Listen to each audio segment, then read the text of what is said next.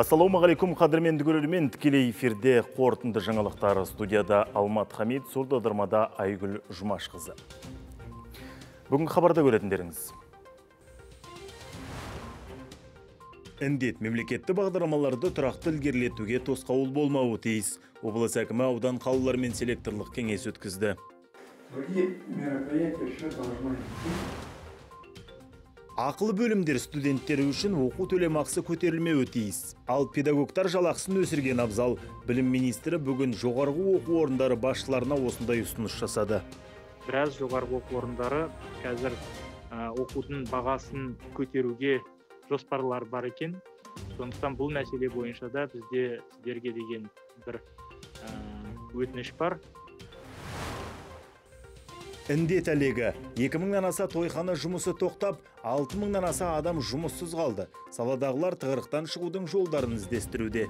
карантинға байланысты летник ашып сыртында жұмыс жасап халыққа қызмет көрсетіп жатырмыз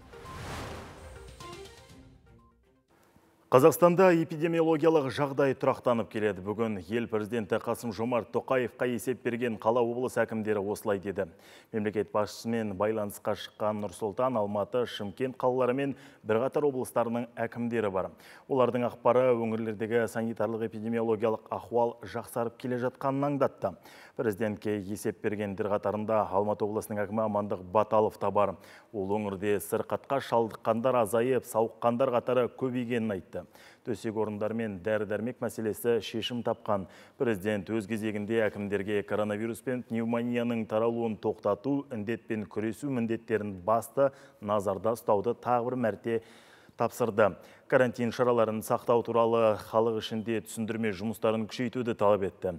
Бұл мәліметті бүгін өзінің Facebook парақшасында Қазақстан Республикасы президентінің баспасөз хатшысы Берік Уәли жазды деп хабарлайды Қазақпарат. Президентпен сұхбаттан соң Алматы облысының әкімі Амандық Баталов аудан қала әкімдерімен селекторлық кеңес өткізді. Мемлекет басшысы тапсырмаларын талқылады.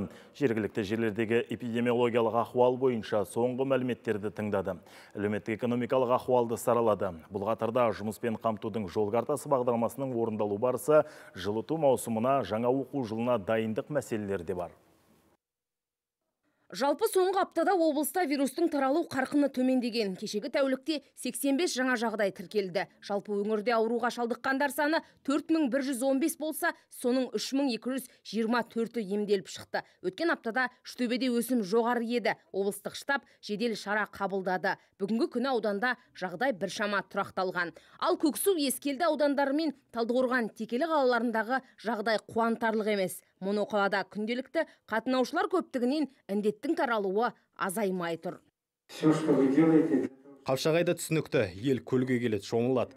Ал Текелі мен Талдықорғанда бір апта болды, өзгеріс жоқ. Дәл қазіргі індетпен күрестің нәтижесі жергілікті басқару органдарының жұмысты дұрыс ұйымдастыруына байланысты. Тиісті шараларды дер кезінде қабылдау керек.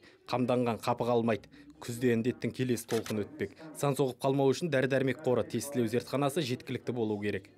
Өңір басшысы жауаптыларға осы бағыттағы жұмысты ширату қажеттігін айтты. Ал жағдайы ауыр науқастарды өзімізде емдеп, аяққа тұрғызу үшін жағдаяттық екі орталық жұмыс істейді. Қазіргі таңда алғашқы жағдаяттық орталық облыстық көпсалалы клиникалық ауруханасының базасында құрылған. Тәжірибелі инфекционист, реаниматолог, кардиолог мамандар күн сайын байланысқа шығып, аудандық ауруханалар дәрігерлерімен аймақтардағы науқастардың жағдайын бақылап отыр. Бұл жұмысты ұйымдастыру облыс әкімінің орынбасары Жеңіс Тұяқовқа жүктелді.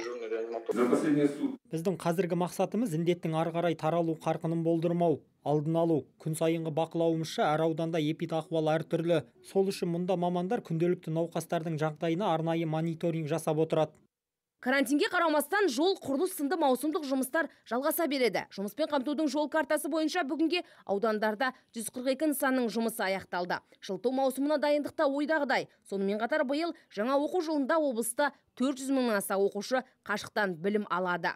Бірінші сыныпқа 38 мың бүлдіршін барады. Қазір әр мектепте жаңа тәртіп бойынша компьютер техника қажеттіліктері анықталып жатыр. Көпбалалы аз қамтылған отбасы балалар үшін үйден оқуға 56 мың компьютер сатып алынады. Ал шалғайдағы интернет желісі жоқ. 134 елді мекеннің оқушыларына басқа тәсіл қарастырылған. Биыл тасымалданып оқитын оқушылар үшін 70 автобус алынады. Бүгінге оның 35-і сатып алынды. Әкім жиынды қорытындылап барлық бағыттағы жұмыстарды ширатуды тапсырды. Все, что вы делаете для того, чтобы защитить людей, народ, жителей Алматинской области. Біз коронавирус жағдайында жұмыс істей білуіміз керек. Егін жинау науқаны өңдеу ісі өз ретімен жүруі тиіс. Атқарылған жұмыстардың бәрі халықтың әл ауқатын арттыруға денсаулығын қорғауға бағытталады. Кәмшат мұхамеджан ғабит қабдырахман жетісу арнасы талдықорған.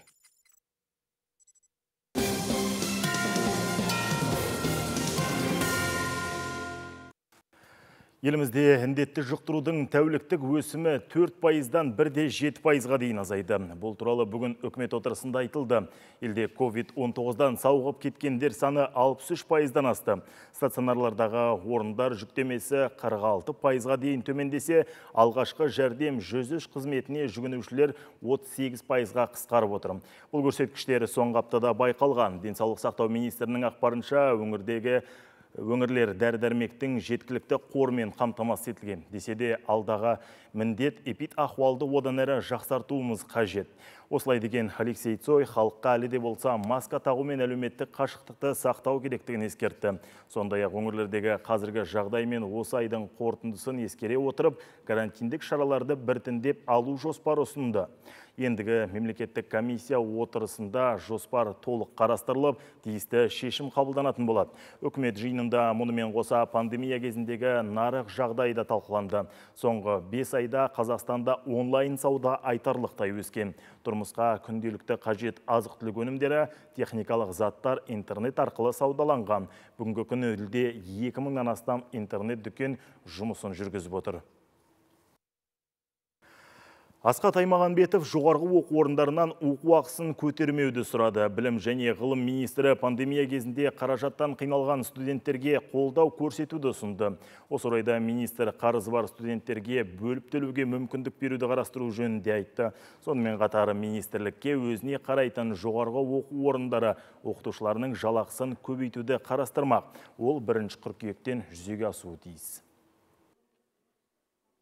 біз алған ақпаратқа сәйкес біраз жоғарғы оқу орындары қазір оқудың бағасын көтеруге жоспарлар бар екен.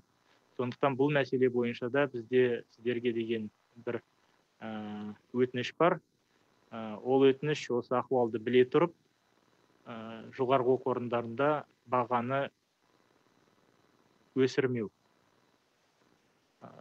Бұл өте маңызды.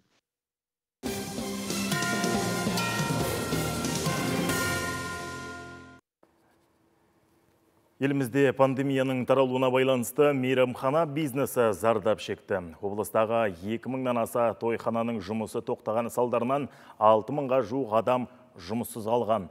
Десе де кәсіпкерлер қазір тығырықтан шығудың жолын қарастырып жатыр. Ал шағын кафелер санитарлық режимді сақтап, рұқсат берген аумақтарда бейімделуде. Корона індет мейрамхана бизнесін тоқтатты. Адам үзілмейтін зәулім ғимараттар қазір қаңырап бос қалды. Ән айтып, бибилеп, ұлан асыр той жасаушылар тыйылды. Эпидемиологиялық жағдайға байланысты шамамен өңірдегі 2000-нан аса ресторанның жұмысы жарты жылдан бері тоқтап тұр. Салдарынан көптеген адам қысқартуға ұшырап, жұмыссыз қалды. Кәсіпкерлер миллиондаған шығынға батты. Енді халық көкейіндегі той жасауға рұқсат беру бермеуі тек өңірдегі эпид ахуалға тікелей байланысты дейді мамандар қазіргі уақытта санитарлық үкімге сәйкес далада 30 орынға дейін жұмыс істеуге рұқсат берілген.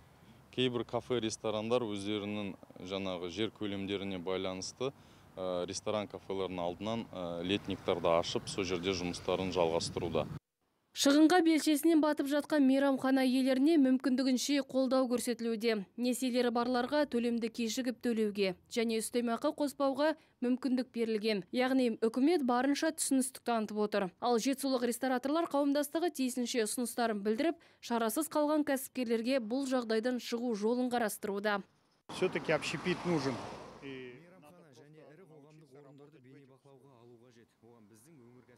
дайын елдегі қауымдастық қазір осы мәселені қарастырды келісімдерін де беріп отыр. Яғни сіз төтенше жағдай мамандары ғимаратта санитарлық талаптардың бұзылуын бірден анықтауы керек. Қазір осы механизм бойынша келіссөз жүргізілуде. Біз осылай қоғамдық орындар қауіпті емес екендігін дәлелдегіміз келеді. Мейрамханалардан бөлек тамақ ішетін қоғамдық орындар шағын кафелерде тығырықтан шығудың жолдарын іздестіруде. Бірі тамақты онлайн жеткізу жүйесіне көшсе екіншісі мекеме аумағынан жаздық алаңқайлар ашып күндерін күнелтуде. Карантин шараларында мына жазғы алаңдарға рұқсат берді ғой.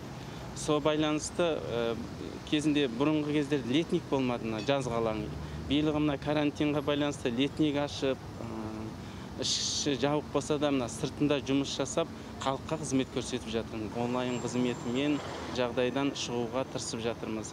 Ешқандай жұмысшылар қысқарған жоқ бізде. Жаңағы екі мез екі ауысымда жұмысымызды атқарып жатырмыз.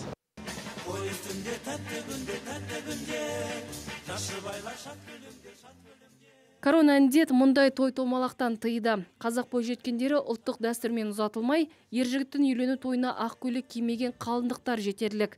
Мейрамханалар жабық. Шағын кафелерде отыздан аса адамнан артық жиналуға тыйым салынған. Карантин кезеңінде ұзату мен үйлену тойын жасамай шаңырақ көтерген жастар көп. Солардың бірі әнербай отбасы. Мәулен мен шұғыла екі ай бұрын ерлі зайыпты атанды. Олар тойдың өтпегеніне еш өкінбейді ең бастысы жақындарының амандығы. Әр нәрсенің бір қайыры бар деген жас жұбайлар бұл пандемия қазақты ысырапшылдықтан тыйды деген пікірде. Шығынсыз кредитсіз той жасаймыз деп ойлағанбыз.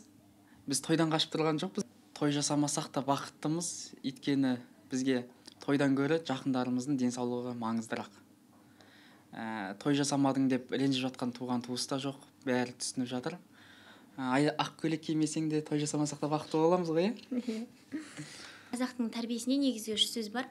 Сол үш сөз жақсы нәрсеге баулу керек қой бірақ ол қазір ә, ысырапшылдыққа алып келе жатыр. Мәселен ұят сөзі. Ойбу ананың баласы ә, тойында мына нәрсені қойыпты ұят болады дейді да несие алады несие алғаннан кейін ысырапшылдыққа алып кетеді. Көп жастардың ажырасуына сол материалдық тұрғыда әсер етеді. Меніңше қалай қалай үйленгенің тойыңның қалай өткені емес кімге тигені маңызды сияқты. Жалпы әлемді әбігерге салған вирус кәсіпкерлердің қалтасын қақты. Десе де халықтың өмірге деген сәл де болса көзқарасын өзгертті. Мәселен жақындарын бағалауға. Той жарысты тоқтатып босқа шығындалмауға үйретті әр сәттің қадірін түсінді көптің пікірінше бұл кезеңнен кейін халық арасында той бәсекесі саябырсиды деген сенімде мадина берікқызы абылай құттықбай ержан дүйсен жетісу телеарнасы Талап күшеймей іс өңбейді. Өткен демалыс күндері Көксу аудандағы кәсіпорындарға 170-тен аса ескерту берілді. Екі әкімшілік хаттама толтырылып, 160 мың теңге айыппұл салынды. Қатаң шаралардың қолданылуына аудандағы карантин талаптарының сақталмауы себеп азаматтар рұқсат етілмегенге қарамастан кәсіптерін жалғастыруды көздеген. Қоғамдық орындар, көше, базарларда ешқандай санитарлық норма сақталмағаны анықталды. Салғырт қараған тұрғындарға жауаптылар ескерту жасап, түсіндіру жұмыстарын жүргізді. Жалпы қазіргі таңда ауданда 12 арнайы бақылау тобы құрылған. Олар Балпық бимен қатар басқа ауылдарда. Бұрын бәріне түсініктеме жүргізіп барлығынан енді не алғанда түсініктеме алғанда кісілердің бәріне қазір әкімшілік шаралар қолдануға бастап бастадық жұмыстарымызды карантиннің басталған кезінен жеті жүздей рейд болды. Соның үстінен где то алты жүздей объектілер тексерілді. Енді нысандар барлығы бір емес екі үш рет тексеріледі ғой. Тексеріліп сол басында түсіндіру жұмыстары өткіздік. Көксу ауданының орталық ауруханасына 8 оттегі концентраторы жеткізілді. Игілікті істің жүзеге асуына аудан меценаттары мен қоғамдық ұйым өкілдері ұйытқы болып отыр. Олар бұдан бөлек халықтың әлеуметтік жағынан аз қамтылған осал топтарына 10 миллион теңгеге азық түлік таратты сондай ақ 14 мыңнан астам медициналық маска үлестірді. Шарапаты мол істегі басты мақсат пандемиямен күрестегі медицина қызметкерлерін қажетті құрылғылармен қамтамасыз ету. Жалпы пандемия басталғаннан бері көксу ауданында covid-19 және пневмония жұқтырудың 90 жағдай анықталды. Оның осы күнге дейін 44-і сауығып шықса 46-сы ем қабылдауда. Жетінші концентратор келіп біздің қолымызға тиді. Кешке қарай тағы бір концентратор уже сегізінші концентратор келеді. Бұлардың бәрі бізде ауыр халде жатқан ауруларға жаңағы өкпе қабынуын қабынып жатқан ауруларға өте керек аппарат. Бұл өкпені ауырған кезде өздеріңіз білесіздер оттегі жетіспейді сол оттегін осы аппараттар арқылы адамдарға жеткіземіз. И олардың жағдайы күннен күнге жақсарып сауығып кетуге көмектеседі. Көп көп рахмет аудан халқына рахмет аудан әкімшілігіне рахмет жаңа еріктілер қоғамына рахмет дейміз